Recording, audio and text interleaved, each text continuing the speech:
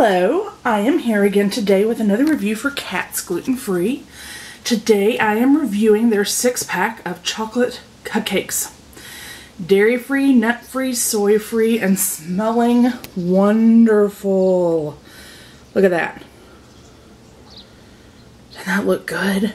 I cut it in half with a knife and it was so dense and kind of had the consistency of a brownie, so I am really excited to try these.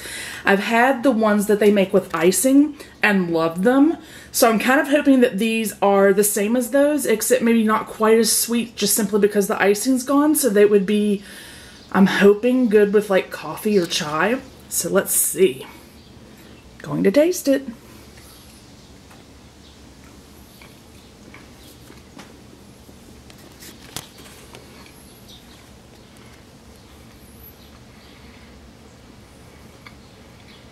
Yep.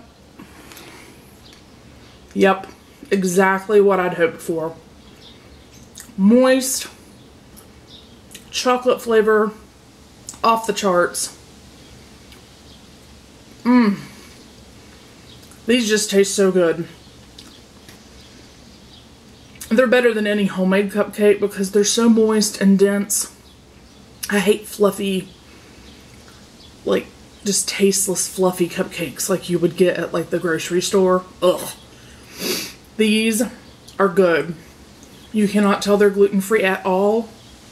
They would be great for anybody um, except vegans, sorry. But if you're vegetarian or you love gluten-free or you just don't care, you've got to try these.